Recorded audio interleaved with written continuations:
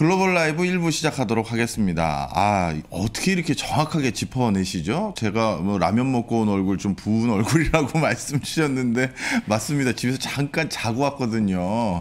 예, 어제 날을 세가지고, 에, 어떤 저 입찰 올릴 게 있어가지고, 그래서 날을 세고 이제 와서 어, 바로 방송하면 또 지칠까봐 어, 텐션 올려야 되잖아요. 제가 뭐 우리 슈카님처럼 세계적인 텐션은 아니더라도 그래도 재밌고 즐겁게 시황해드려야 돼서 잠시 자고 와야지 했는데 어, 그 사이 얼굴이 또 부었던 것 같습니다.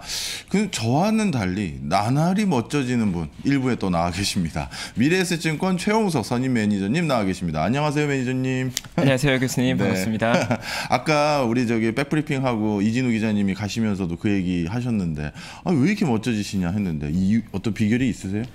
자꾸 보다 보니까 익숙해진 게 아닐까. 네. 알겠습니다. 자, 오늘 그러면 주가 지수부터 중국 주가 지수부터 한번 살펴보고 시작하시죠. 네, 어, 오늘 상해 시장 일단 중국 시장 전반적으로 강보합 정도 마무리하는 하루였고요.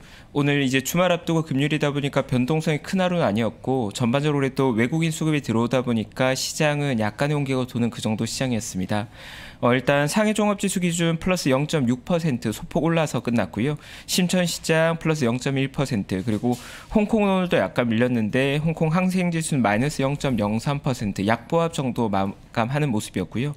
오늘 뭐 시장에 크게 특징적인 섹터는 없었지만 그래도 조금 좋게 보이는 건 거래 대금도 여전히 충분한 수준 거래되고 있고요. 외국인 수급도 5일 연속으로 순매수를 기록하고 있어서 전반적으로 큰 걱정보다는 그래도 다음 주에 대한 기대가 약간 생기는 그 정도 하루였던 것 같습니다. 자, 그 사실 거래가 많은 거는요. 그만큼 아직까지 그 뭐 어떻게 보면 개인 투자자들이 시장에 관심이 있다. 이렇게 저희가 해석해도 되는 걸까요? 네, 맞습니다. 그 증시에서 가장 중요한 게 거래량이고 오. 증시의 오래된 격언 중에 하나가 뭐 상승의 추세, 하락의 추세는 속일 수 있어도 거래량은 속일 수 없다는 말이 있거든요. 오. 그래서 증시가 어느 정도 활성화되어 있고 투자자들의 관심이 어느 정도인가를 보기에 가장 중요한 지표가 거래량을 볼수 음. 있는데 최근에 중국 시장이 높은 수준 거래량을 유지되고 있기 때문에 투자자들의 관심이 여전히 식은 수준은 아닌 것 같고 방향이 잡히는 그 방향에 따라서 아직은 약간 시장이 다시 온기를 띨 수 있고 활기를 띨 수 있는 시장이다 정도로 기대할 수 있을 만한 근거가 될 것 같습니다. 네. 역시 그렇게 관심이 아직 중국 시장에서 식지 않았네요. 자, 그러면 이런 과정에서 당연히 우리 개인들이 가장 관심이 많은 것은 대형주들 아니겠습니까? 뭐 대형주의 분위기는 요즘 어떻습니까? 일단 오늘 백주 기업이나 중국 시장을 대표하는 대형주들은 전반적으로 플러스 0.34% 정도 지수와 비슷한 수준 움직이었고요. 다만 시장을 좀 돋보일 정도의 강세를 보였던 섹터가 작은 섹터가 있었던 게 태양광 산업으로 굉장히 음. 뜨거웠습니다. 어, 최근에 중국 정부 당국의 정책 의지에서 탄소 중립 효과가 계속해서 나오고 있는데 그 과정에서 친환경 에너지 관련 기업들이 계속 더 많은 주목을 받고 있고요. 특히나 최근에 폴리시리콘 가격이 좋다 보니까 통이 같은 기업들이 최근 많이 올랐는데도 오늘 추가 상승해서 5.87% 거의 6% 올랐고요. 뭐 이번 주 주간 통해 차트 보시면 굉장히 가파르게 올라가고 있는 걸 확인하실 수 있을 거고 어, 대표 기업 중에 하나인 용기실리콘 같은 경우에도 5.6% 올라서 융기실리콘이 시가총액 거의 90조짜리 기업인데도 꽤 가볍게 움직인 모습이고 야. 수급 자체를 조금 많이 몰리는 모습이고요. 예. 오히려 전기차 value chain은 최근에 과열 논란이나 여러 가지 노이즈가 있다 보니 약간 쉬어가는 모습이었고 태양광 관련주들은 오늘 가파르게 튀어오르는 모습이라서 투자자들 관심은 조금 필요할 것 같습니다. 네. 네. 중국 증시가 이렇게 혼조세임에도 불구하고 거래량도 꾸준하고 그리고 대형 주식에 대한 움직임도 굉장히 그거에 의거해서 탄력적으로 움직인다니까 진짜 아, 저도 중국 증시 절대 손에 놓지 않고 계속 모니터해야겠구나라는 생각이 듭니다. 자, 그렇지만 중국의 어, 시장 뉴스를 들여다보면 가끔 가슴 섬뜩섬뜩할 때가 있죠. 오늘 시장 뉴스는 또 섬뜩한 거 없나요? 네. 일단 오늘 시장에서 그래도 시장에서 불안감을 약간 해소할 만한 뉴스가 일부 나온 오호. 게 있었는데 오히려 시장은 그렇게 뭐 의미 있게 받아들이지 않은 것 같고요. 오, 예. 오늘 좀 중요한 뉴스 몇 가지 나왔던 게 중국 공산당 위에서 최근 플랫폼 기업 관련된 정책들을 내보내고 있는데 그 정책들이 위법 행위에 대한 규제지 플랫폼 기업 자체를 때리는 건 아니라는 코멘트가 있었고요. 특히나 최근에 시장에서 많이 우려했던 게 어, 가변 이익 실체라고 해서 중국 기업들이 미국에 상장하기 위해서 일종의 페이퍼 컴퍼니 계약 구조를 만들어 놓은 거에 대해서 그거 자체에 문제 삼지 않을까에 대한 두려움이 계속 있었거든요. 네. 근데 VI 구조 등에 대해서 제재하는 건 아니기 때문에 위법을 저지르면 규제하겠지만 VI 이 같은 지배구조 자체에 대한 규제나 뭐 해외 상장 자체를 때린 건 아니라고 다시 한번 입장을 명확하게 보여주면서 시장 오해를 좀 풀려고 하는 노력은 있었고요. 뭐 그럼에도 불구하고 사실 오늘 텐센트랑 알리바바가 다 밀렸기 때문에 시장이 크게 뭐 호재로 받아들이지는 않은 것 같고요. 그리고 더해서 공동부여 관련된 시장의 오해를 풀기 위한 커미트도 몇 가지 있었던 게 어, 공동부유가 부자를 규제해서 빈부격차를 해소하자는 의미가 아니라는 걸 다시 한 번 더 코멘트를 달았고 네. 혁신이나 국가 부강이나 경제 활성화 같은 기존의 성장을 위해서 만들어놨던 아젠다들을 망가뜨리는 건 아니다. 음. 공동부유라는 건 어쨌든 단계적인 분배의 색깔을 조금씩 늘려가는 거지 기존의 성장을 포기하는 건 아니라는 코멘트가 있었고 특히 조금 민감했던 게 이 공동부유라는 키워드에 보면 성장 키워드가 있고 분배 키워드가 있는데 이 분배 키워드가 1차, 2차, 3차로 단계가 나뉘어져 있습니다. 뭐 어제 언급드린 내용이긴 하지만 1차 분배 같은 경우에는 최저임금을 통해서 노동자들이 최소한 이익을 얻어가는 방식 그리고 2차 분배가 세제 개혁을 통해서 조금 더 분배에 신경을 쓰는 부분 음. 사실 공동부의 핵심은 세제 개혁에 방점을 찍고 있다가 선명하게 얘기를 하고 있는 부분이고 시장에서 두려웠던 게 이제 3단계로 가게 되면 대기업이나 기존에 많은 이익을 얻었던 주체들이 사회에 다시 환원하기를 원하는 건데 여기에 대한 해석이 조금 갈렸던 게 부정적으로 보는 시선은 정부가 강제로 걷어가겠다는 거냐 였고 좀 긍정적으로 보는 쪽은 그냥 도덕적 기준이 각 강제성 없다 정도였는데 이제 오늘 나온 공산당 회의의 커멘트는 3차 분배 그러니까 대기업들의 사회 환원에 대한 요청은 기부나 이런 문화나 도덕적 기준이지 강제성을 띠는 거 아니라고 다시 커멘트는 다는 모습이었고요.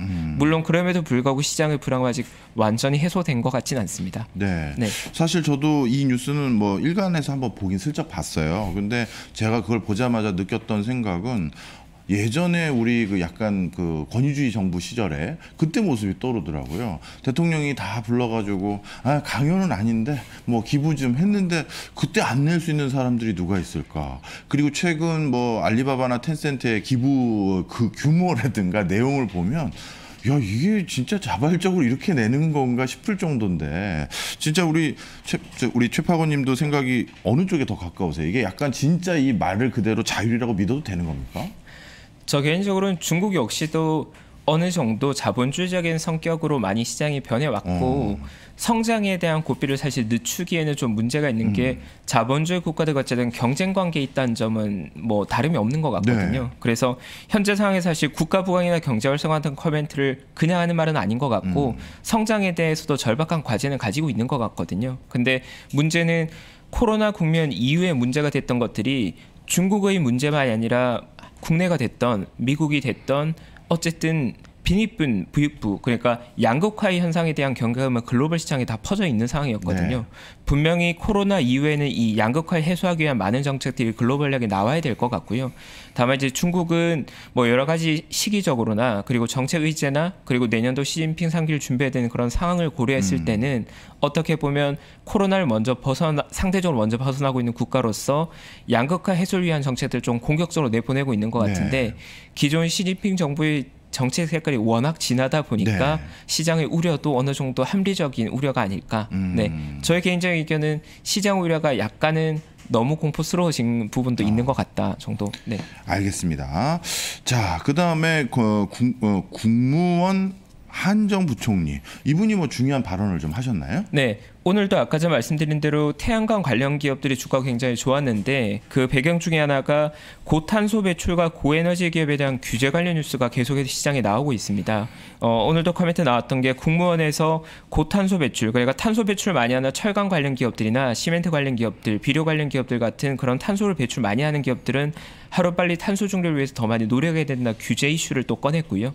그리고 많은 고에너지 기업 같은 화석연료 같은 기업들도 더 많은 탄소 중립에 대한 노력을 기울여 야 된다고 해서 어쨌든 정책의 색깔 자체는 탄소 중립에 굉장히 강한 focusing을 하고 있고 심지어서는 그 공동부유란 키워드가 하반기에 가장 중요한 키워드가 돼 있고 저 2교시에도 준비되어 있는 상황인데 음. 그 공동부유의 성장의 정책 의제가 네 가지가 있는데 그 중에 하나가 친환경 에너지라고 해서 공동부유 자체에도 탄소 중립의 색깔이 많이 묻어 나오고 있거든요. 오. 그렇게 본다면 아마도 하반기 정책이나 내년 상반기까지는 정책 의제나 새로운 내용들이 나오게 됐을 때 clean 에너지 관련 우호적인 정책은 많이 쏟아져 나올 수 있다. 우리 기대 음. 이상일 수 있다 정도 힌트는 주는 네, 코멘트였던 것 같습니다.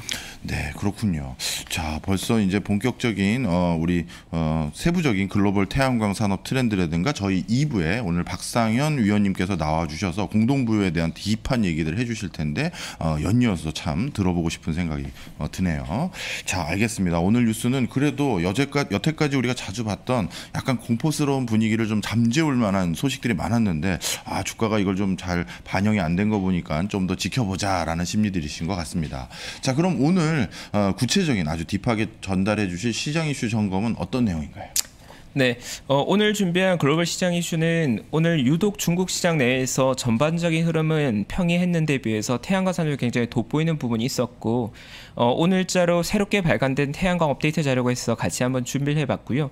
당사에서 글로벌 주식 컨설팅 팀의 강재구 연구원님께서 중국에 한정짓지 않고 미국과 중국 양국 그러니까 글로벌 태양광 산업이 최근에 어떻게 진행되고 있는지 뉴스플로를 좀 업데이트해 주셨는데 그 자료를 공유해 보면 좋을 것 같아 조금 준비해 왔습니다. 네. 네. 사실 저희도 요즘 그 국가에서도 태양광 산업에 대해서 다시 주목도가 점점 높아지고 있는 상황이거든요. 그러면서 요즘은 그게 진짜 분위기가 싹 달라진 것 같아요. 몇 해 전에도 유사 한 회의를 한번 들어간 적이 있었었는데 그때는 태양광 산업을 얘기하면서 중국은 한 꼭지 정도로만 얘기하고 미국이나 유럽 이렇게 두루두루 얘기를 했었는데 이번에 이번 관련 회의를 들어갔더니 한 회의 한 절반 이상이 중국의 태양광 산업으로 전체 시장을 조망하더라고요. 그만큼 위상이 달라졌다라는 걸 새삼 느끼게 되는데요. 어떤 내용인가요? 네.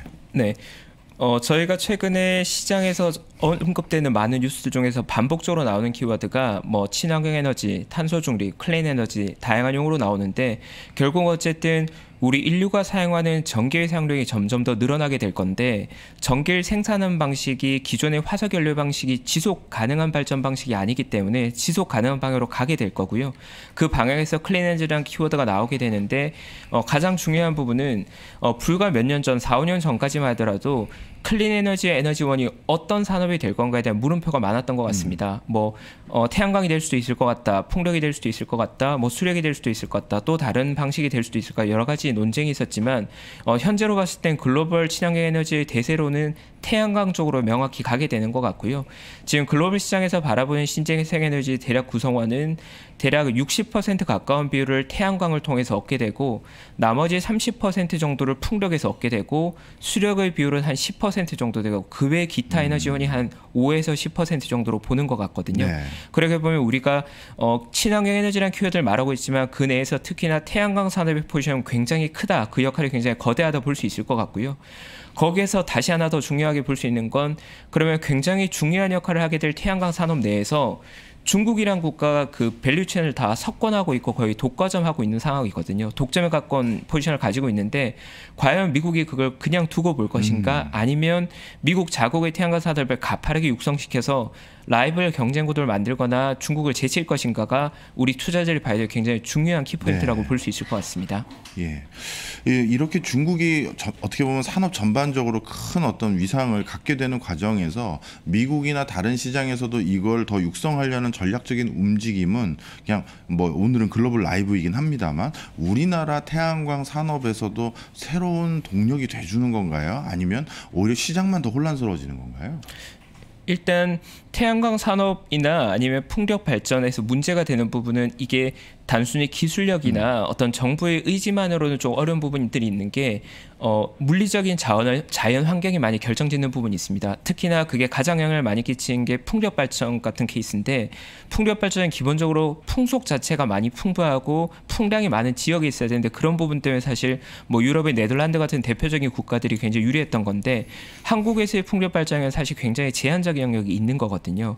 그리고 태양광 산업 같은 경우는 사실 규모의 굉장히 규모의 굉장히 굉장히 절대로 중요해서 음. 사막 같은 곳들이 사, 대량의 전기 생산 네. 굉장히 좋은데 국내로 봤을 때는 사실 토지 자체가 없죠. 좁다 보니까 한계가 조금 있는 상황이고 그러면 결국은 이런 아마도 태양광 비즈니스 내에서도 미국과 중국 간의 G2 간의 양극화된 경쟁이 될 가능성이 좀 높은 그런 상황이고요. 음. 바꿔서 말하면 국내의 태양광 산업들 입장에선 새로운 기회 요인들이 생길 수는 있겠지만 예. 전반적으로는 현재 중국과 미국 사이에 좀 약간은 껴 있는 상황이라서 음. 조금 위축되고 있는 그 틈새에서 많은 전략을 활용하는 기업들은 많은 수혜를 보겠지만 전반적으로 봤을 땐 조금 위축될 수 있는 그런 네 네. 상황인 것 같습니다. 자, 지금 우리 그, 그 매니저님께서 말씀해 주신 내용을 좀 보면 태양광 산업을 발전시키는 데 있어서는 크게 한 세 가지 꼽히는 것 같아요. 비용을 줄이거나 규모의 경제를 좀 만들거나 아니면 기술을 더 발달시키거나 이런 상황인데 지금 중국뿐만 아니라 글로벌 태양광 산업은 이런 측면에서는 지금 어떤 흐름들을 쭉 보이고 있는지 궁금합니다. 네. 일단은 이 친환경 에너지에서도 결국 중요한 건 가장 중요한 게 비용의 효율화거든요. 그러니까 기존의 석탄 뭐 화력 발전 방식보다 더 낮은 비용으로 에너지 생산해내야 되는 건데 그걸 달성하기 위해서 필요한 것들이 결국은 가격 경쟁력을 맞춰야 되는 거고 규모 경제를 달성해야 되는 건데 그 부분에 있어서는 사실 미국과 중국 양국은 이미 성공을 한 상황입니다. 그래서 태양광을 통해서 에너지를 생산한 비용이 단위당 비용은 화력 발전의 거의 한 3분의 2 정도 수준 오. 혹은 절반 수준까지 내려와 있는 상황이고요. 예. 근데 그 조- 요건 자체가 아까 전 말씀드린 대로 뭐 사 막과 같은 거대한 자연 환경이나 태양광이 굉장히 강하게 내리쬐는 지역, 지역 들이 있어야 되고 또 그 과정에서 폴리실리콘 같은 원자재 경쟁력이 있어야 되는데 그런 부분을 사실 중국을 따라갈 수 없는 상황이고요. 그 중국은 이미 비용 효율을 달성해서 가격 경쟁을 계속 밀어붙이고 있고 반면에 미국은 약간은 더 기술력적으로 승부하려고 하는 부분이 있는 것 같고요. 그런 부분을 또 투자 포인트에 있어서는 중국을 접근하는 투자 전략과 미국을 접근하는 투자 전략이 약간은 갈리는 그런 어. 상황입니다. 음, 야, 그것도 신기하네요. 자, 그러면 이런 상황에서 어떻게 보면 이런 이제 태양광을 중심으로 해서 태양광뿐만 아니라 다양한 신재생 에너지의 판을 키우는 것은 글로벌한 어떤 정치적 리더십들 그리고 각 국가의 에너지 정책에 대한 변화 이런 게 되게 중요할 것 같은데 사실 중국도 그동안 그런 자국 내 에너지 정책 의 변화 때문에 여기까지 온 거 아니겠습니까? 맞습니다. 이 친환경 에너지라는 것에서 육성에 있던 정부의 정책 의지가 너무나 절대로 중요하고 결국 사실 직설적으로 말씀드려서 정부가 정부 돈을 써줘야지 음. 클수 있는 산업이거든요. 근데 그 면에 있어서 사실 중국이 전 세계에서 태양광 산업에 가장 많은 돈을 퍼부어 왔고 음. 그 결과로 지금 태양광 산업에서 압도적 지위를 가지고 있는 상황이거든요. 구체적으로 조금 볼 수 있는 게 어, 코로나 발생 이전에 친환경 에너지에 가장 지출이 많았던 해가 2019년이었는데 2019년 기준으로 글로벌에서 친환경 에너지에 썼던 돈이 2,822억 달러 정도였다고 합니다. 대략 네. 한 350조 원 정도 되는데 그 중에서 거의 100조 가까운 돈을 중국이 사용했고요. 중국이 지출했고 그리고 미국 이외로 한 60조 원 정도. 그러니까 네. 중국은 한 60% 정도밖에 지출이 없었다고 합니다. 근데 이 부분이 좀 중요한 focusing인 게 이제 현재는 바이든 정부가 작년 11월에 들어서면서 친환경 에너지를 굉장히 강하게 말하고 있는데 그렇죠. 2019년 당시 생각해보면 트럼프 정부가 친환경에 관련된 관심이 매우 낮았거든요. 아. 예, 예. 그러면 어, 미국이 2019년 기준으로는 대략 555억 달러 정도를 지출했지만 바이든 정부에서 아마도 두 배 이상 혹은 두 배에 가까운 정도 규모의 지출이 가능한 상황이고 그렇게 본다면 바이든 정부에서 정책 의지에 따라서는 태양광 산업의 성장폭은 좀 가파르게 나올 수 있는 기대감은 있는 상황이고요. 특히나 태양광 관련주들이 주가 추이를 보면 작년 11월에 바이든 정부에서 기대감이 과도하게 받으면서 랠리가 굉장히 가파르게 나왔다가 네. 그 기대감이 실망멸로 나면서 가격도 좀 많이 조정을 받은 상황이거든요. 그래서 만약 인프라 투자에서 친환경 에너지 관련 예산이 잡히게 되고 지출 규모가 확정되게 되면 네. 시장의 기대는 좀 더 형성될 수 있는 국면이라서 투자자들 입장에서는 미국의 정책 의지나 새로운 예산 규모 같은 것도 좀 중요한 체크 포인트는 돼줄 것 같습니다. 아 그렇군요. 어, 생각해 보니까 진짜 미국의 태양광 산업을 지금 중국과 바로미터로 똑같이 넣을 수 없는 게 진짜 미국은 에너지 정책 기조가 본격적으로 바뀐 지가 이제 한 1년 됐다고 생각해야겠군요. 알겠습니다. 자 그러면 이렇게 많은 선도적인 투자들을 뭐 국, 국가마다 좀 차이는 있습니다만 많이 했는데 그럼 이 투자를 해서 뭐 에너지 생산 비용이 뭐 낮아졌다라든가 아니면 어떤 변 화의 변곡점까지 올라왔다든가 뭐 이런 시그널이 이미 확인이 됐나요? 네, 우리가 어, 과거 뭐 5년 전, 7년 전부터 친환경 에너지 시대를 바라볼 때 가장 중요했던 변곡점은 뭐였냐면 그리드 페르티라고 해서 기존의 화석 연료 방식으로 전기를 생산하는 것보다 친환경 에너지를 사용했을 때 친환경적이면서 비용도 절감하면 최적의 이상에 만들어진다는 거였는데 사실 미국과 중국 그리고 인도 정도의 국가들은 이미 그리드 페르티를 달성했고 어. 그걸 넘어서 화석 연료의 거의 절반 수준까지 비용 효율화가 이루어진 상황이거든요. 네. 그러면 이미 가격의 문제는 해결이 된 상황이기 때문에 그 다음으로 이제 넘어가야 될 건 이 산업 내 성장 속도를 가파르게 만들어 줘야 되는 건데 네.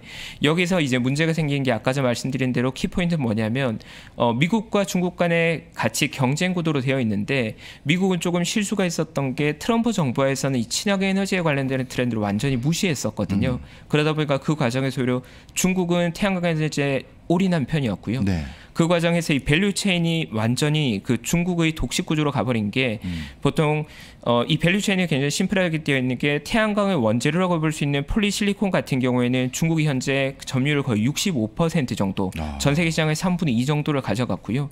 그 폴리실리콘을 가공해서 잉곳이란 걸 만들게 됩니다. 예. 가장 원초적인 가공물을 만들게 되는 그 잉곳은 중국의 점유율이 95%입니다. 네.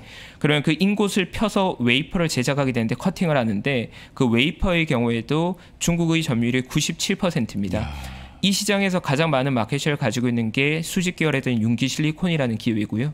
그래 태양광 산업 내에서 100조짜리 기업이 태어날 수 있었던 게 이 웨이퍼 산업을 거의 독점하다시피 하면서 거대한 기업들이 탄생할 수 있었고 그 다음으로 이 웨이퍼를 조립한 모듈이라는 게 만들어져서 우리가 보는 태양 전지 같은 형태가 네. 되는데 모듈 기준으로 보더라도 70%를 중국이 지금 가지고 있는 상황이라서 음. 방금 전 말씀드린 대로 value chain의 네 단계 전부를 다 중국이 석권하고 있는 상황이다 보니까 이 상황에서 미국 입장에서는 좀 많은 고민이 필요한 그런 상황이고 바꿔서 말했을 때 우리가 투자자로서 태양광 산업을 바라봤을 때는 이 상황을 역전하기 위해서 만약에 미국이 어떤 액션을 취하거나 네. 태양광에 공격적인 투자를 하게 되면 우리에겐 그게 기회가 될 수 있다는 정도 아이디를 전달드리고 싶습니다. 네, 정말 중국의 파격적인 투자 이후 진짜 파격적인 어, 어떻게 보면 지배적인 시장 점유율을 가지고 있게 되네요.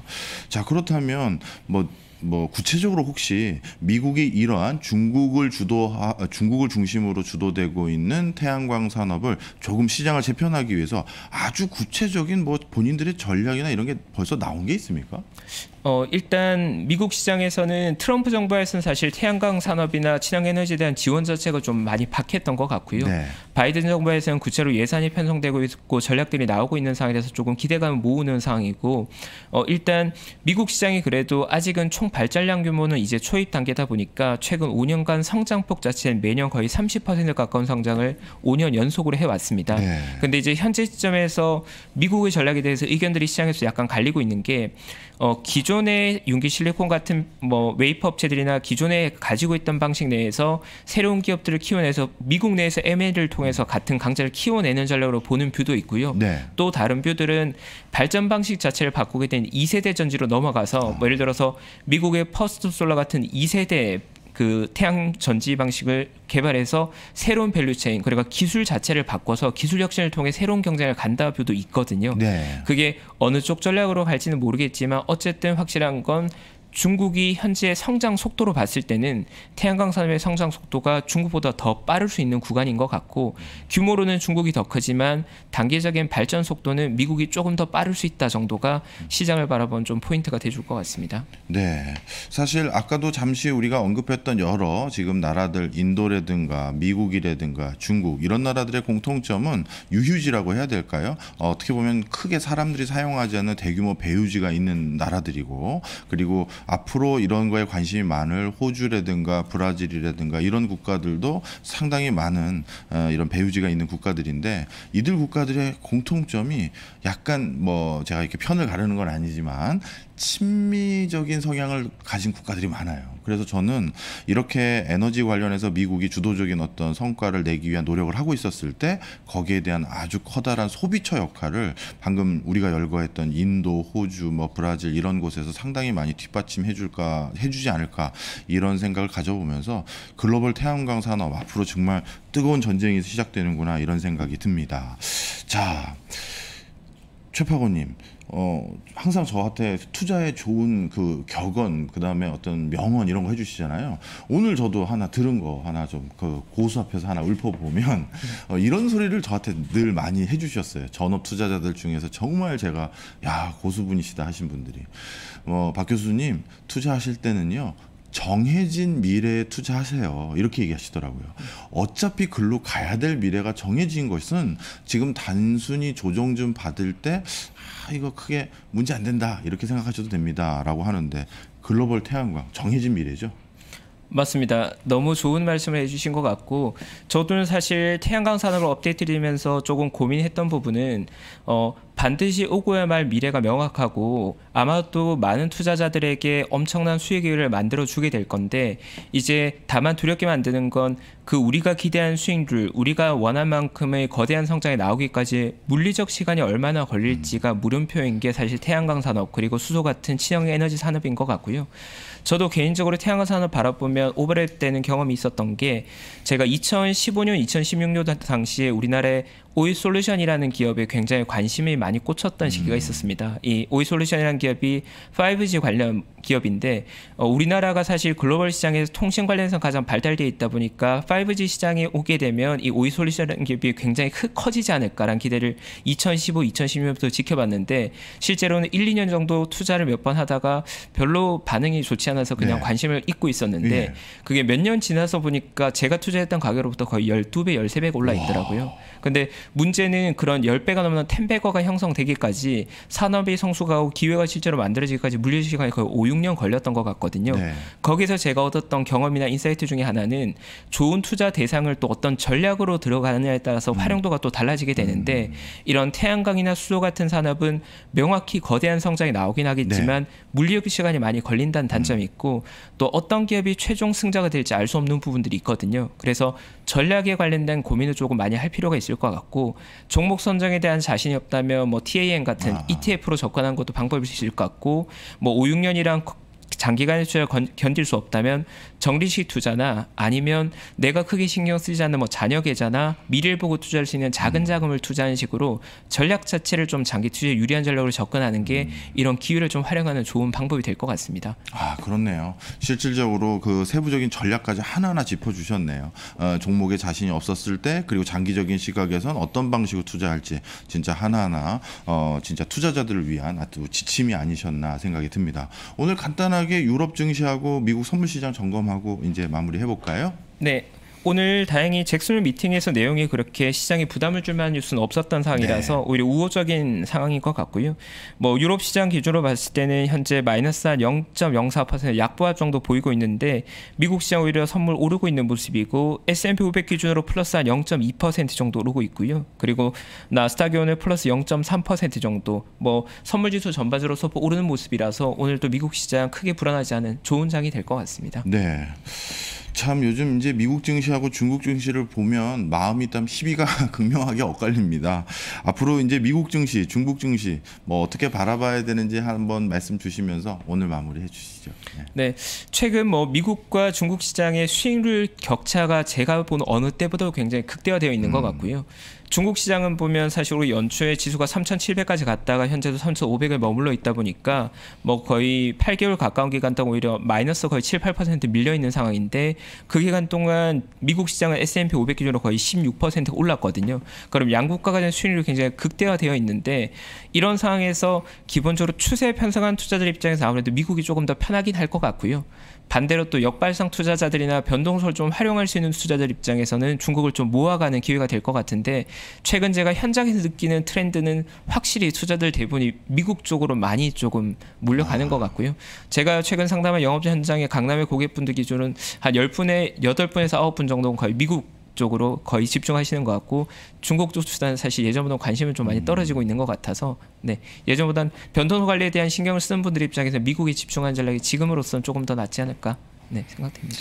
예, 사실 그래서 우리가 모든 기회 요인을 다 포착하고 또 다른 성과를 얻기 위해서 미국 증시, 중국 증시 그리고 국내 주식을 두루두루 살펴보는 이유가 거기가 아닌가 생각이 듭니다. 어, 작년에 비해서 올해도 계속 수익을 잘 내시는 분들은 우리나라 증시뿐만 아니라 이런 해외 증시에 관심을 두신 분들이었다는 점도 같이 꼭 기억을 해주시기 바랍니다. 자, 오늘 한 주일 동안 너무 고생 많으셨고요. 금요일 푸- 편히 쉬시고 저희랑 다음 주에 또 뵙겠습니다. 안녕하십시오. 네 교수님과 함께해서 행복했습니다. 감사합니다. 예. 저희는 2부에서 다시 찾아뵙겠습니다.